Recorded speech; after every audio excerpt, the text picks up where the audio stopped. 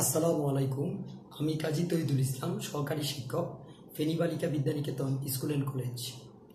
প্রিয় শিক্ষার্থীবৃন্দ, এই করোনাকালীন বৈশ্বিক মহামারীতে তোমরা সকলেই বাড়িতে আছো, নিরাপদে আছো এবং ভালো আছো। আমি সকলকে ফেনী বালিকা বিদ্যানিকেতন স্কুল অ্যান্ড কলেজের ফেসবুক পেজ থেকে স্বাগত জানিয়ে আজকে এই অনলাইন ক্লাসটি শুরু করছি।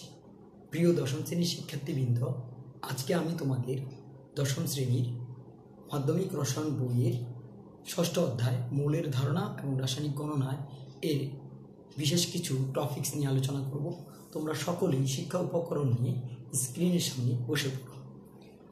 আজকে আমি যে বিষয়টি আলোচনা করব তা হচ্ছে, মনে করো এরকম দুটি পাত্র আছে। এরকম দুটি দ্রবণ আছে। একটা দ্রবণ হচ্ছে nitric acid H N three এর পরিমাণ হচ্ছে পঁচিশ গ্রাম। মনে করো এটা হচ্ছে এ পাত্র এবং আর একটি পাত্র আছে, সেখানে আছে সোডিয়াম হাইড্রোক্সাইড এবং এর পরিমাণ আছে পঁচিশ গ্রাম। এর পরিমাণও আছে পঁচিশ গ্রাম। মনে করো এটা হচ্ছে বি পাত্র।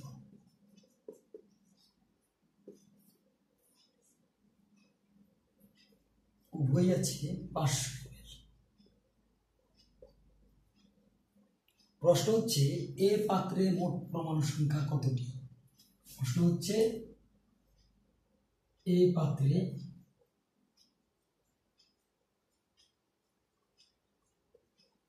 মোট পরমাণু সংখ্যা কতটি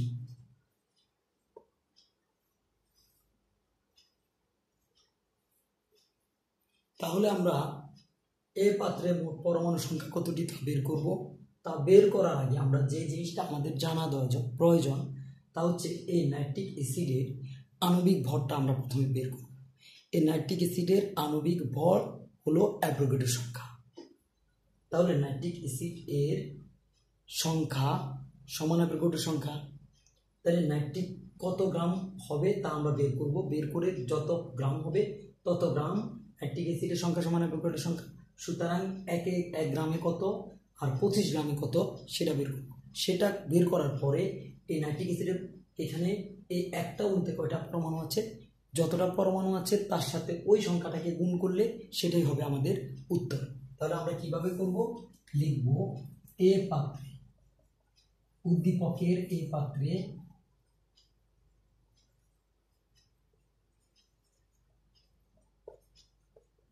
এ পাত্রের দ্রবণটি হল nitric acid H NO three H NO three এর আণবিক ভর। এইচ এনও থ্রি এর আণবিক ভর এইচ এনও থ্রি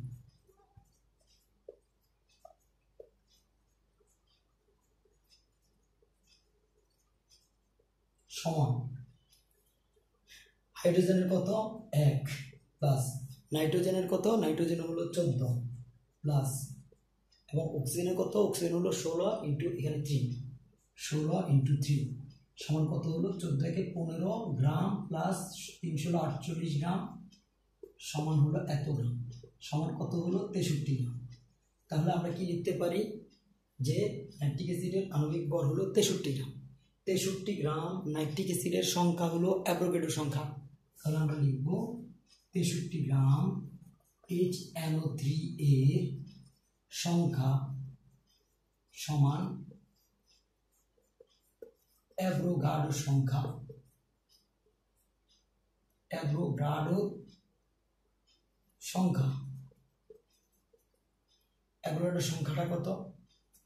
অ্যাভ্রোগাডোর সংখ্যাটা হলো সিক্স পয়েন্ট এটা লিখতে পারি আমরা six point zero two three into ten to the power twenty থ্রিটা মুখস্থ আমাদের আছে। এতটি। সুতরাং এক গ্রাম নাইট্রিক অ্যাসিডে এইচ এনও থ্রি, এক গ্রাম এইচ এন থ্রির সংখ্যা সমান অ্যাভোগাড্রোর সংখ্যাটা six point zero two three আগেরটা নিচে এখানে কী হবে? এক গ্রামে কত? এক গ্রামে হবে। আগের সংখ্যাটা নিচে পরেরটার উপরে six point zero two three the power twenty three T twenty থ্রিটি তাহলে আমরা কি লিখব? সুতরাং এক গ্রামে কত? আর পঁচিশ গ্রামে কত?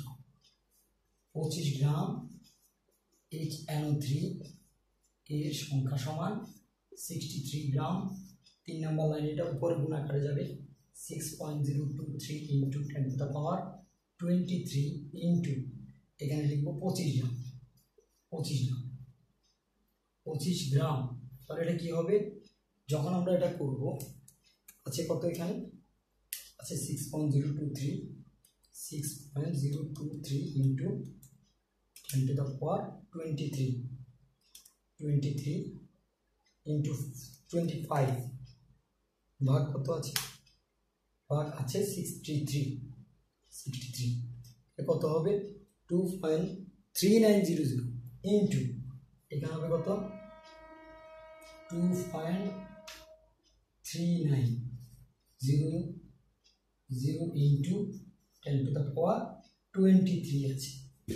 এতটি। তাহলে আমরা কি লিখতে পারি? যে আমরা পঁচিশ, একে কত? পঁচিশ গ্রামে কত? আমরা বের করব। তেষট্টি গ্রামে একে এবং পঁচিশে কত? আমরা এটা বের করলাম। এখন লিখব যে এই পাত্রে এই পাত্রে নাইট্রিক অ্যাসিডের একটি পরমাণুতে মোট পরমাণু সংখ্যা। এই পাত্রে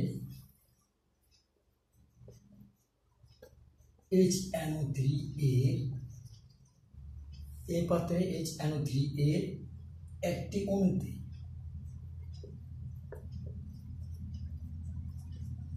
মোট পরমাণু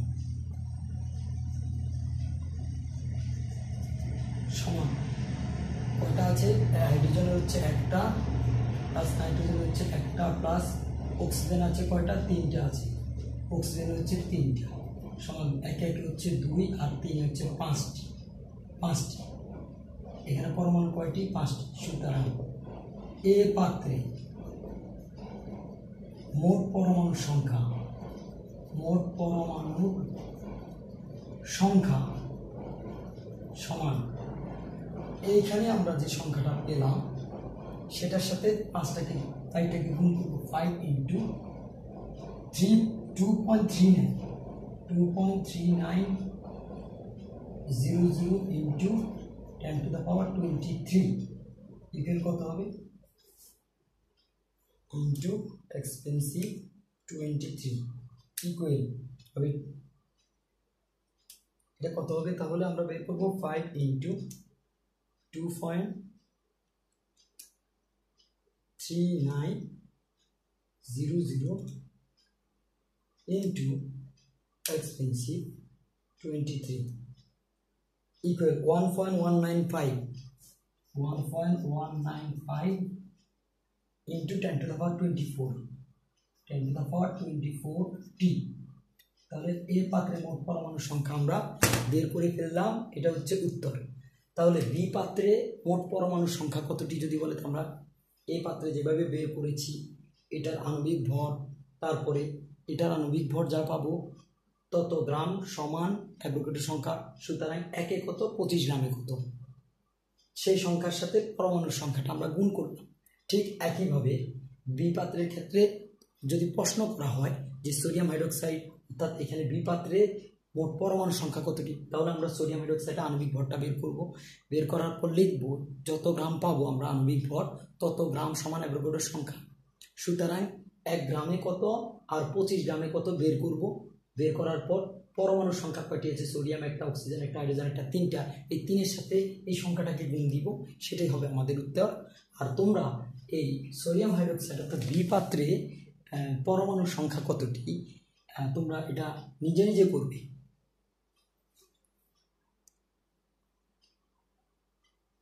এখন আমরা এই ঠিক একই উদ্দীপকের আরেকটা প্রশ্ন বের করার চেষ্টা করব।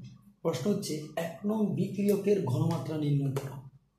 যারা বিক্রিয়া অংশগ্রহণ করে তারা তো বিক্রিয়ক।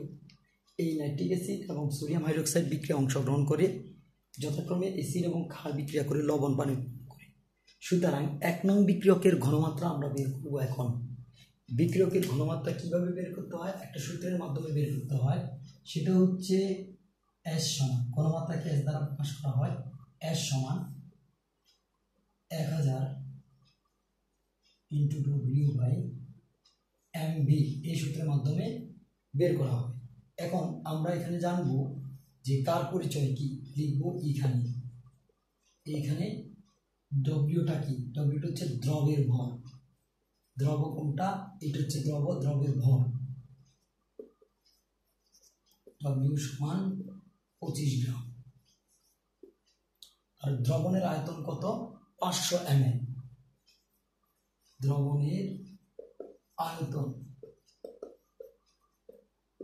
B equal five hundred M L পাঁচশো এম এবং এমটা কি? এমটা হচ্ছে এখানে যে এইচ এন থ্রি দ্রবণের যে আণবিক ভর আছে সেটি লিখব। এইচ এন থ্রি এর আণবিক ভর। আণবিক ভরটা কত? আমরা লিখতে পারি খুব সহজে এইচ এর হচ্ছে, পরমাণু ভর হচ্ছে ওয়ান নাইট্রোজেন হচ্ছে কত? চোদ্দ। লিখব চোদ্দ প্লাস অক্সিজেন হচ্ছে ষোলো আর অক্সিজেন পরমাণু হচ্ছে তিনটা, ষোলো ইন্টু থ্রি ষোলো ইন্টু থ্রি তাহলে কত হলো? চোদ্দ রেখে হলো পনেরো, যোগ তিন ষোলো হচ্ছে আটচল্লিশ। সমান পনেরো আর আটচল্লিশে কত? তেষট্টি গ্রাম। তেষট্টি গ্রাম পেলাম, এখানে পেলাম তেষট্টি গ্রাম। এত গ্রাম পেলাম। তাহলে আমরা এই এটা পেলাম এবং বি বি তো এখানে লেখা হয়েছে ডব্লিউ লেখা হয়েছে এম বি ডব্লিউ তিনটা লেখা হয়েছে। তাহলে এই ঘনমাত্রা, অর্থাৎ এক নং বিক্রিয়কের ঘনমাত্রা। এক নং বিক্রিয়কের ঘনমাত্রা আমরা এটা লিখতে পারি, বিক্রিয়কের ঘনমাত্রার সমান। বিক্রিয়কের ঘনমাত্রা এর সমান ভর। তাহলে আমরা এই জিনিসগুলো ব্যবহার করে এখানে গাণিতিক সমস্যাটা সমাধান। লিখব এক নং বিক্রিয়কের ক্ষেত্রে এক নং বিক্রিয়কের ক্ষেত্রে আমরা জানি আমরা জানি এস সমান এক হাজার into W by M B তাহলে মানগুলো বসিয়ে দিব। এক হাজারের এক হাজার ইন্টু ডব্লিউর মান কত আছে? টোয়েন্টি ফাইভ গ্রাম এবং এমটা কত আছে? আণবিক ভরটা কত আছে? তেষট্টি। তেষট্টি গ্রাম ইন্টু আর এখানে আছে কি? ভি পাঁচশো এম এল পাঁচশো এম এল তাহলে গ্রাম গ্রাম শেষ আর শেষে কী থাকবে? এক হাজার ইন্টু টোয়েন্টি ফাইভ এটা যদি করি, এক হাজার ইন্টু টোয়েন্টি ফাইভ ভাগ এক হাজার ইন্টু টোয়েন্টি ফাইভ ভাগ, আছে কত? Sixty three into five hundred sixty three into five hundred equal কত হয়? Zero point seven nine three. Zero point seven nine three, এটা ঘনমাত্রাকে এম দ্বারা প্রকাশ করা হয় মোলারিটি। ঘনমাত্রা যেই কথা, মোলারিটি একই কথা, ঘনমাত্রাকে এম দ্বারা প্রকাশ করা হয়। এটাই হচ্ছে উত্তর। তো তোমরা সকলেই এক নং বিক্রয়কের ঘনমাত্রা কীভাবে বের করতে হবে, তা নিশ্চয়ই বুঝতে পেরেছ। ঠিক একইভাবে তোমরা এক নং বিক্রিয়কের যেভাবে ঘনমাত্রা আমরা বের করেছি, দুই নং বিক্রিয়কের ঘনমাত্রাটাও ঠিক কীভাবে বের করবে। যে দুই নং বিক্রিয়কের ক্ষেত্রে ঠিক সূত্রটা সেম হবে, আর দুই নং বিক্রিয়কের যে দ্রবের ভর টোয়েন্টি ফাইভ হবে, দ্রবের আয়তন হবে পাঁচশো এম এবং আণবিক ভরটা তোমরা নিজে বের করবে, এরপর এইগুলো বের করে, মানগুলো বের করে সূত্রে বসিয়ে তারপর করবে এবং করার চেষ্টা করবে, আশা করি তোমরা অবশ্যই পারবে। প্রিয় শিক্ষার্থীবৃন্দ, আজকে আমাদের রসায়ন বিজ্ঞান বইয়ের আলোচনা ছিল, ঠিক এতটুকু। আবারও তোমাদের সাথে দেখা হবে পরবর্তী ক্লাসে। সে পর্যন্ত তোমরা সকলেই সুস্থ থাকবে এবং ভালো থাকবে। সকলের জন্য শুভকামনা। আসসালামু আলাইকুম।